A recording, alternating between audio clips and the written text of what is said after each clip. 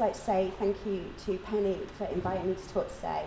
I'd like to thank, uh, and also not thank uh, right now, uh, Catherine for suggesting that maybe I should talk. Um, and also my colleagues Alison Webb, so uh, aka Frankly Green and Webb. um, uh, uh, Alison's really inputted into this talk in terms of what kinds of things we should be covering. And Annie, who's been handling the handling objects over there, uh, she's uh, my colleague too. And finally, my husband here, Johnny, uh, he's listened to this talk probably about 12 times, so um, uh, thanks for his patience and notes. Um, so, um, Annie, oh, she just stuck some cake in her mouth. um, can I just ask you, uh, you've got people at the back there looking at the objects that we brought in. Could you tell us any of the uh, hypotheses or any of the insights from that? Yeah, there was a lot of cheese-related guesses. Um, Cheese-related tools? Had, Okay, um, a football raffle. yeah. Um, we had um, pastry cutting or mangle. Someone did say that one of the objects that like it was actually a practice piece of wood from Turner. Okay, Um, and we also had a fire starting implement. Where it had string. okay. Um, so Lots of different stuff. Lots, but most of the guesses were towards weaving textiles. that kind of thing. Ah, interesting. Uh, I'm not going to tell you what they are just yet. So if you want a chance at the end of the talk to go and have a look, you can do. Um, but that uh, kind of activity is one that's uh, commonly used in people uh, for people studying material culture. Uh, the idea is that you take observations and look at um, different things to try and under- give them meaning and understand. And it's something, you, well, obviously I work in museums and galleries, uh, and it's a kind of activity that's quite often done there. They'll have a handling uh, set of objects that you can go in and work with and look at and try to investigate and understand what they are. But there was an also a different uh, experience going on that, and that was kind of inviting curiosity, an invitation to go over the white gloves, the tissue paper, Annie physically dragging people towards them. There's a, a strong invitation to kind of pique your curiosity. And um, there's something, I have to kind of acknowledge this, there is something very meta about kind of talking to people who are curious enough to get up at 8 uh, and get in for 8.30 in the morning about something to then tell them what curiosity is and how it works. So I kind of feel like you might be good practitioners already, but this might be a chance to reflect on what that looks like. But curiosity in of, of itself is kind of a basic mode. It's kind of like thirst or hunger. It's one of those things that as human beings we do intrinsically. Um, and it's, kind it's part of that idea of uh, part of our evolution to kind of keep being curious about things. But some of you will have been asked to go over there and thought, there's no way I'm putting on white gloves and I feel like an idiot. There's some of you that will have looked at those objects and thought, you don't even need to ask me twice and run over and started playing with them. Different people's reaction in, in those circumstances, that curiosity, is, um, is being driven by different things. It's not always easy to be curious. The experience or the things themselves may not actually pique your interest. They may not be novel enough, they may not be spectacular enough, they may not be interesting enough or related to you.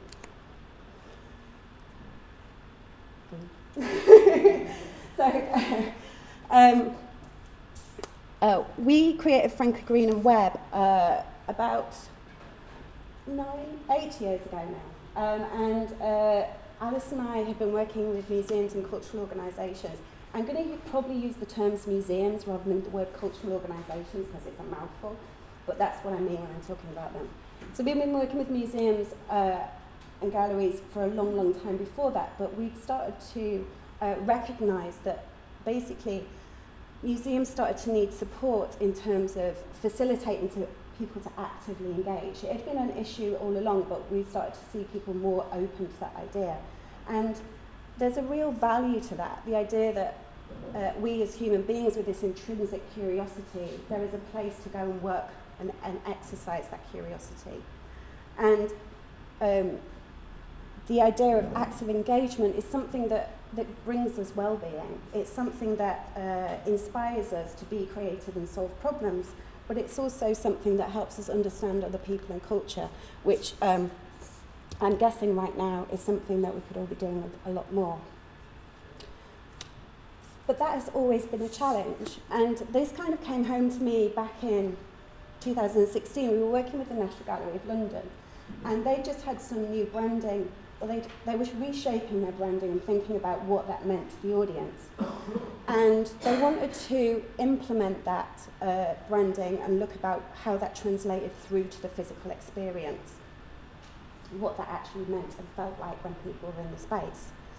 And so uh, the ambition and the challenge of kind of uh, of actually encouraging and inviting curiosity actually came through how much of a challenge this has always been for museums.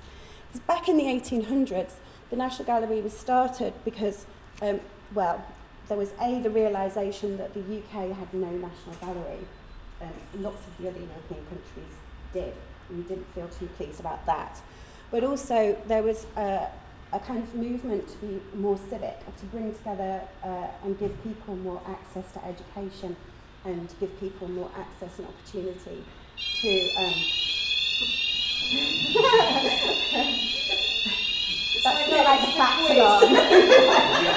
this is where we're Incorrect. um, and so the bullshit sound has gone off. Okay, uh, so the, but the, so the idea that basically um, the, the National Gallery uh, was kind of set up with the, the, the aspiration to improve people's lives. Actually, the location that it's sat in, in Trafalgar Square, to the west you had rich, rich London, and believe it or not, to the east you had very, very poor London. And it was specifically sat there to give access to these two audiences. And basically the idea was that all classes would be accepted.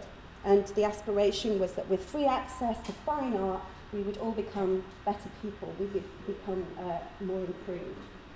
And basically that happened. If you imagine that during that period, like we're so used to visuals around us, we look at this room in itself, but actually, in the 80, late 1800s, that kind of image, uh, images weren't as available. It, to have images was a really, uh, access to images was a really privileged thing. So they opened the doors and people turned up. But you can see where the challenge lies from there. One of my favourite stories is the National Gallery, and I'll squeeze it in wherever I can. But basically, the challenge was that people were not as actively engaged in the art as the, as the director and curators and the people who found it at their post. And my favourite, uh, my favourite quote is from the director at that time, who basically uh, walked into the space one day and, well, regularly and found picnic blankets with people eating meat and pounds and drinking gin in the National Gallery. And there was this moment where they, uh, he talks about being incredibly disappointed that people weren't as engaged in the art as he thought they, they should be. And they started to bring in a series of rules that would stop piloting and gingering kids. I'm still hoping they're there today. Um, so um, it wasn't seen as appropriate, and there was a certain type of curiosity that you were meant to have as you walked around these museums. There's a should. You should be doing this, and you shouldn't be doing that. Um, and to a degree, museums are a complex place. For most people, they're an entertainment place or a place to go at the weekends and relax and see something that's beautiful and, and see beautiful things. But actually, there's also, an, um, most of the research that we do, we recognise that there's an, an underlying aspiration there for something that's a new discovery, a new experience, a new chance to, to learn or, or understand something. But this isn't a space that we're designing that's a, a hospital or a, where everything has to be immediate. We're not saving lives, but we have to create delight, but we have to make it useful. That level of complexity is the thing that kind of attracts me to it, I'll be honest. but um, kind of my confession is that this talk isn't really just about museums, you might, might be pleased to hear. That actually, my feeling is that when we're working and we're observing people, um, trying to be curious or, or experiencing curiosity and we're designing those spaces, it gives us an idea of the ways that we can facilitate that into our own work or lives. That idea that how can we make best art and best use of our curiosity because I don't know about you, I am like the number one person for getting my nose down into something, um, you know, and like two hours later, you've lost two hours. You've, you've, you've heard lots of different stuff. It's been really, really interesting. But as a creative person and a business owner, that idea that you've lost two hours on your budget and your schedule can be kind of terrifying. And one of the things that we constantly have been doing is trying to kind of put into shape practices and processes that will allow us to effectively use our curiosity. And that kind of really is what I'm talking about in the museum space because people are short of time, money, and energy when they go to those places. So one of the things that we're working on is how can we make sure that they get the best out of their experience in terms of those things, that positive moment of joy.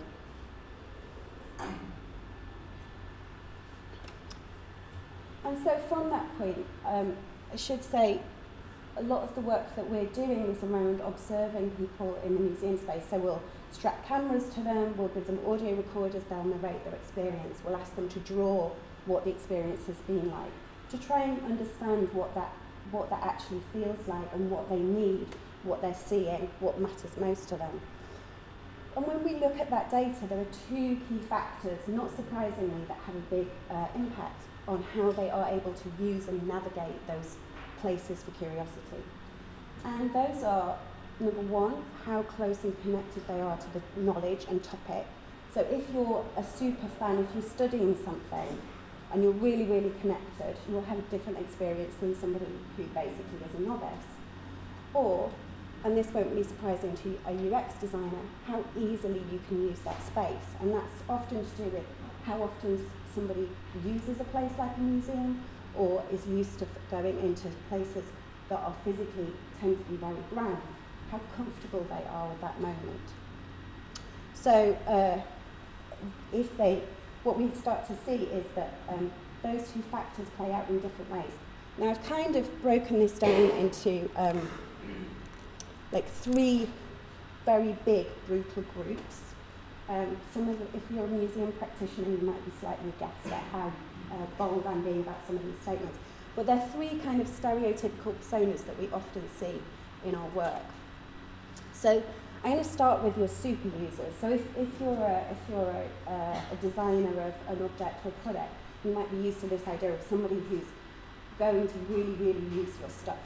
And basically, uh, in museum context, that's uh, generally about 4% of the population go to a museum uh, once a month the museum or gallery once a month. So those are real super users. They know how that place and space works. And they tend to be um, confident in both uh, cultural knowledge, in terms of they don't just know about history, but they may know about arts or something around that. And also they have a, a, a really good understanding of how the museum space works. They, uh, I'll give you a good example. We worked with the V&A, and they wanted to know what was needed in that welcome moment? As people go over the threshold, what was needed before they entered the gallery space? And one of our super users um, walked into that museum and we kind of recruited them before. We gave them an audio recorder. And we said to him, okay, just navigate the space how you feel like. And he walked in, he walked straight up to the information desk and said, hi, I'd like to know where I can find the Georgian glass.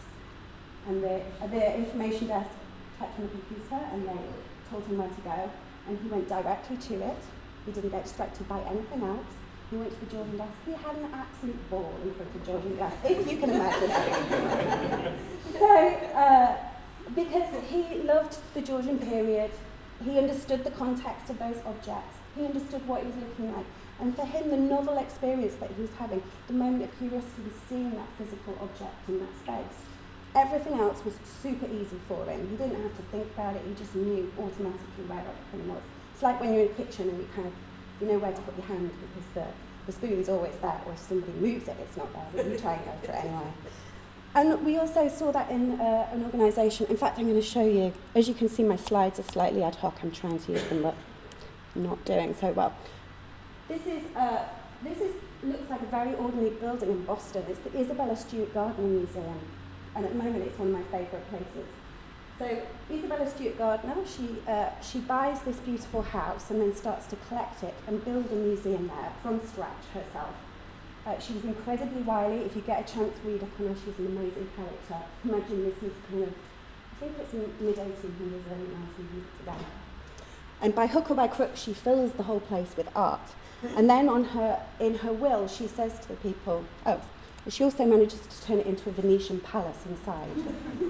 uh, and she, turn, she gives it to the people of Boston and she says, I'm putting it in your trust. You cannot change anything about this space.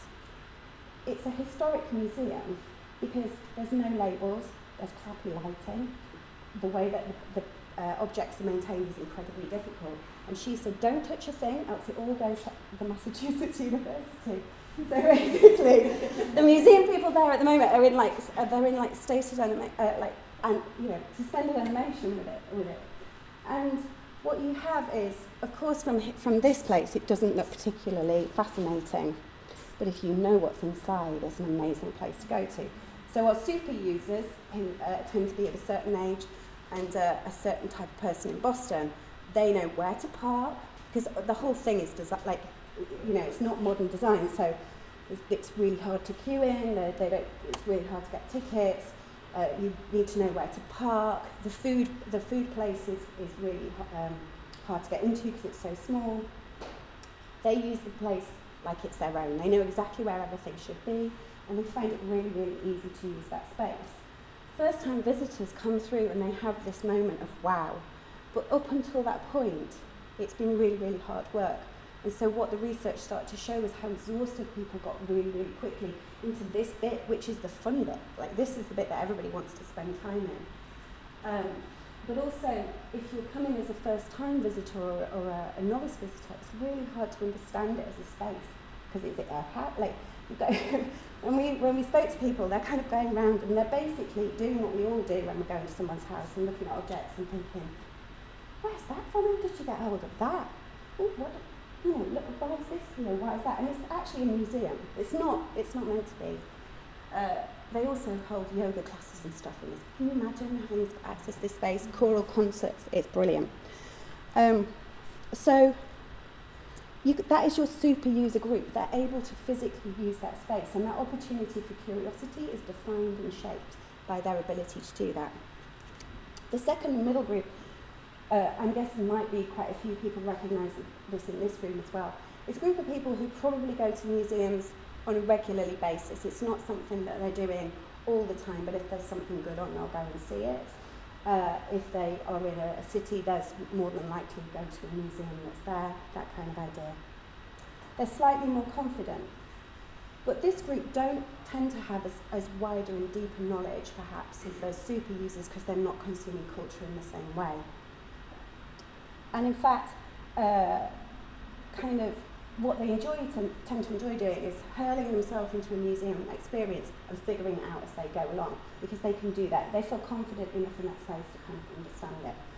And also they have probably a few more hooks. So if we've, uh, this idea of Velcro is one that I can't kind of let go of, but basically if you imagine every cultural thing you kind of come into contact with or an object or a story or something, you create a little hook onto yourself. And as you walk through a museum or gallery, each object that you're seeing has little loops. And if you have a story that clicks onto that loop and you can tell that it's there, you'll get stuck to it and you'll engage. Most, most super fans are, are walking around like head to toe in hooks, basically, like they're human Velcro. a lot of people are walking around with quite a few hooks on them. And what you'll tend to see is that group of people will be able to spot something that is recognisable to them. And it's a serendipitous activity. They're kind of wandering around, they'll be like, oh, that's really nice. Somewhere like the V&A, this is like the maximum opportunity for serendipity. Because no one goes to the V&A with a plan. So, you, so everybody's kind of walking across and go, oh, China. And then you're like, oh, fashion. And then it's, oh, iron railings. uh, niche audience the iron. Um, but basically, they'll, they'll be looking through different experiences and they'll, you basically get that moment where they're incredibly uh, uh, pleased that they found something, but the exhaustion of trying to find something means that they get very tired very quickly and they slow down. And then you'll see the museum march, which is just like slowly walking through galleries, glazed eyes. The active engagement that everybody was hoping for and we saw with objects that we love is turns really passive and they, they're starting to slow down.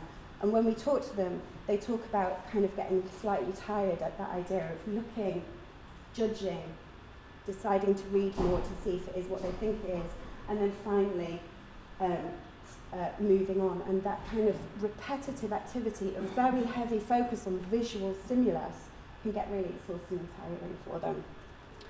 And then we come to our other group. Now, this is, uh, I'm calling these a novice group. Um, there's various levels of novice. We do a lot of work where we invite audiences in who maybe, so we did a project with Tate recently and, and we invited audiences in who wouldn't normally come to the museum. They're open to uh, art, but they've never come across Tate or it's not been something that they've really aspired to. And we wanted to understand what that experience felt like for them. Most, most people go to, so think I'm going to give you a figure here, 78% of people go to the museum uh, two times or less in a year in the UK. That's, the, that's a huge, huge percentage of people who are not going. That's a huge percent of people who are novice users. And those users I totally recognise with because even as somebody who works in museum, I often am that person as well. Where they'll kind of focus very much on that moment of getting to the museum or gallery. So they'll focus very much on, like, how do I get there? How much it's going to cost? What do I do when I get there? Sorry, what happens when I get there? And they'll focus on that moment. And then they get through the threshold. And a bit like when you get to the airport and you get past, uh, like, check-in, and you start to go, oh yeah, I've got two hours here. What am I going to do with myself? Then you start to see that that group in particular have that planning moment, that moment of like, oh, what do I do now in the actual physical space? And quite often they're not used to a museum environment, so they don't know what the tools are to ask for. They don't know how these places are navigated. The work with the National Gallery, one of the, the interesting elements of that for me, we were working with a wayfinding company, was the, the moment where um, someone described the National Gallery, so it goes from 1200s to uh, 80, the mid 1800s, their collection. And basically, someone called the 1200 stuff flat old Jesus stuff. and the Impressionist stuff, the good stuff. And so if you imagine if you walk in there and it says 1200s, 1400s, 1600s, you have no mechanism for making those decisions. That kind of constant friction and fear of going in the wrong place, making a crappy use of your time while you're there because you've booked in 15 other places to go while you're in the city and you've only got two hours while you're here, has a real cognitive problem for people. And what you see is again that they will they don't know how to find things to be curious about. They don't know how to kind of shape that experience in a way that really can make the most of what they're interested in. Okay. We talk a lot about the idea of friction and the impact that that friction of experience has had on people's ability to actively engage with things.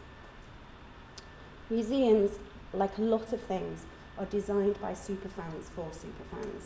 If you don't know who your audience is, you start to use your own experience. And if you use your experience, you're only going to attract and make something that is useful for people who are just like you. And so a lot of our work is around giving those audiences a voice within the space, but also helping people to design something that doesn't look like it's something for them. And I'm not suggesting that people walk in, that, that those, design, those people who design those experiences are doing that because they want to exclude other people. That is very often an aspiration that everybody should be welcome to these things. But just by giving people access and those invitations to curiosity being designed in a certain way, it minimises who can access them. The language that people use, the, the, the, where, the the location that things are placed in are all having a, a huge impact. So if you can imagine kind of being in those different museums experiences, I personally have been in them. Uh, I've been that kind of super specialist who knows exactly where to go, both in life and in, in those kind of cultural contexts. But also, I've, I've also been that kind of person who's arrived something and had that feeling of shame like one of the things that we hear a lot from people who are, are um, uh, within that kind of novice group is they don't feel that the museum's done a crappy job of designing the space. They just feel shame that they didn't do their homework. They feel shame that they didn't know about the art and that they should have really found out about it or they should have listened in class, you know, 30 years ago. There's a real feeling there that they did something wrong rather than that the, the, the space itself is designed not for them. So, um, kind of where I want to flip this to is how can you use some of those observations of other people and that empathy for being in those situations in order to use it to frame your own curiosity to when you need to have that moment of curiosity during a particular project that it's shaped in a way that you yourself can build upon. Um,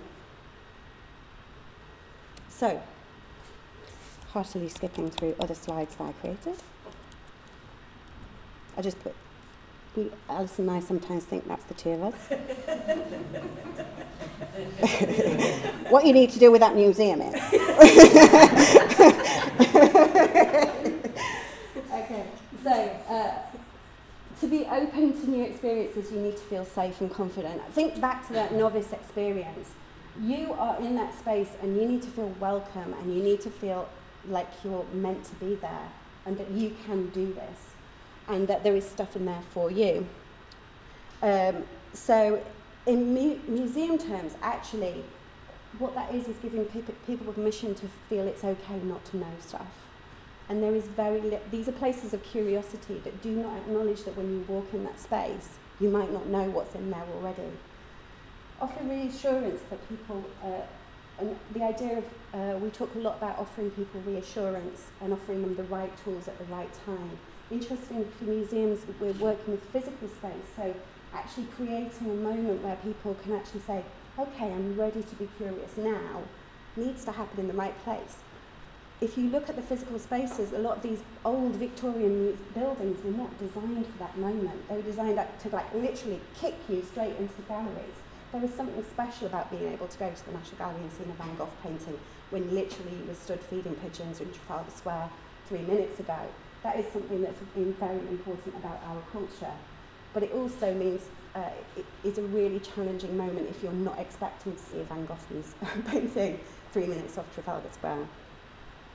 My favourite example of this is uh, uh, the Chicago Philharmonic Orchestra. And they did a, a really interesting thing. They, um, they used data to understand who that audience was. And they captured, when people bought tickets, they captured first-time people. And when they saw that first-time person had entered the space, on the tablets for the visitor assistants, they would, they would basically, it'd be like 10-4, Lindsey Green is in the space, she's a first-time visitor, she's on seat 23A. That sounds very sinister. It wasn't like that at all. It just literally popped up. So they would, they'd go to 20, 23A and say, oh, you've booked a ticket that, that's really cheap really cheap. And you put a ticket that's in a difficult situation, a difficult place, you can't see. Because that person, it was their first time visit, they were trying to manage risk by, you know, would they like the piece of music, that kind of thing. So they tended to buy really cheap tickets. And they were in places with like short leg room. They'd go over to that person who was a first time person and say, come on, let's go to a, a seat where we've got a free seat down the front, let's go, go into that seat. And they put them into a seat that was a better experience. They'd build their confidence in that moment and they'd feel like, we know you're a first-time visitor and don't worry about it, we've got you covered. That, what a compelling moment that is. I think for, for as a practitioner, kind of, and for your own work perhaps, taking that forward, I think, um, like, as a practitioner, you, you tend to find yourself in those moments outside of your comfort zone, and kind of that feeling of overwhelmness at, at the task that you're taking on. So um, one, of the, one of the things you might like to do is think about if you were observing that moment in someone else, what would the tools and processes be that you would set up for that person to get out of that hole? What would you set to give them reassurance that it's okay? It could be a list of people that you call. It could be a, to uh, uh, a group of processes that you've set in place to kind of think, comb yourself through that experience and kind of uh, think moment by moment what you need to do. Um,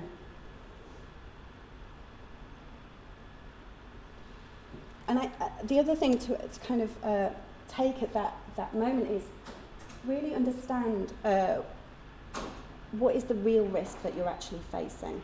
What, what does it really feel like? What is that fear? Because you know it's been said quite a lot over the last couple of years. We're all winging it. Nobody really knows what they're doing. you know, so the fact is, is kind of that, that moment of, of really embrace that moment of fear and, and kind of feel it. Because I think one of my own experiences is I can kind of put it away, and what it does is it closes me down from listening and understanding to what's actually needed to be done. Uh, the next one the idea of to focus your curiosity effectively, you need the right question, not the right answer. Um, quite often we're entering into uh, briefs where someone has defined both the, the starting point and the end point of the brief. I, have, I want to solve this problem and I want to do it this way. Or if you're an agency, quite a lot of the, um, the, the problems uh, you've got to pitch a solution before you've even had chance really to explore the issue, to understand what is underneath it. If you find a brief where they say, we just have a question, we just need you to help us with the answer, snatch it with both hands because they are a client to keep. um, and I think that we kind of, we, there is, a, there is a fear when you're buying something that you want to know what you're buying. I totally understand that. But I think for, for uh, an organisation, to kind of be able to give people that space and that opportunity to kind of creative find a solution is a really hard area to navigate. In terms of uh, what that means in terms of uh, where we see issues here is that um, audiences quite often don't feel that they've got a question until the right moment. So quite often they'll, they'll the idea of having the right question needs to be something that feels relevant to them, but also is in um, uh, is achievable. So, kind of keeping those ideas of relevance and achievable. I think the idea of kind of shaping this um, this moment really. What we see is that they don't have a question that is relevant or achievable to them. They don't know what they don't know. And so somebody, as they walk through the door, someone will say, can I help you? What are you looking for today? And they're like, oh, nothing, the toilet pretty much is the standard issue, uh, uh, or the cloakroom. And then they'll get into the museum space and it's kind of like 20 minutes in, 30 minutes in before they start to go, oh, there might be something in here that's relevant to me. Actually, if I could find that quickly, that would be a really good thing. There's nobody there to help them. So that idea of finding something that's relevant but also achievable in terms of the question is really important. This idea of there's always some, a moment when the most effective thing to do is to do something else. Um, that aspect of curiosity when you're in that moment of digging and digging and digging, there's two things happening. You're taking in lots of information, but you're also tiring yourself out. And there becomes a moment that you have to stop sometimes that you're reluctant to stop because you don't feel you've got the answer yet, and sometimes you're reluctant to stop because you're absolutely uh, sure that you'll never get there. And one of the things that we see uh, for, for visitors, particularly those uh, novice visitors, is they'll try to bite off the whole museum in one fell swoop. They'll like, I'm going to do it. I'm going to do the entire Met in two hours. I've actually attempted that whilst working with the Met, I was that idiot. Like, I, like, I know that I'm conscious incompetence at every stage. And so basically, you, there is a moment where actually what you see in the museum visit, we talked, I talked about that moment of like stepping through and people repeatedly feeling that same sensory, sensory visual experience. So in museum, in museum terms, we, we look at installing different stimuli. We look at creating lean back instead of lean in moments. We look at creating passive experiences instead of active experiences to kind of create that journey where people can rest, process, reflect. Doing that in your own work is sometimes really difficult when the client is on the, on the phone or that the, your boss is asking you where something is, is to say, actually, the best moment right now is to move away from something we all know that that is you, there is a danger there that you then don't go back to it. but but the most but what we see in a museum terms is there is a chance for people to refresh themselves and come back to be active about it. So um, those are kind of my three top tips. So just to kind of go back back what I've been talking about, the idea is that as humans we are all curious. That is one of our intrinsic things that we have to do. But in order to use it usefully, we have to take care of it and shape it in a way that we can exploit it at the right time and make good use of it. Um, and that, to me, that one of the three key things that we see in terms of doing that in the physical environment is to create a safe space for people, either others and you or yourselves, to feel vulnerable. Um, to allow them to build confidence and skills and allow them to feel like it's okay to fail. Focus the question, the next one is focus the question and really uh, create a safe space to explore into. That idea of asking the right question and not the right answer, that idea of having um, something that is relevant to you, that is achievable, and the edge of that sandpit being those kind of pointers will give you a safe place to uh, play in, but also give you keep you motivated at, at most challenging time. And finally, novel experiences, that idea of having something new to experience constantly, is, is an amazing opportunity. It fills us with joy and it brings a great uh, deal to us. But it can be overused. And at that time, look at how you can approach something differently and come at it from a different angle.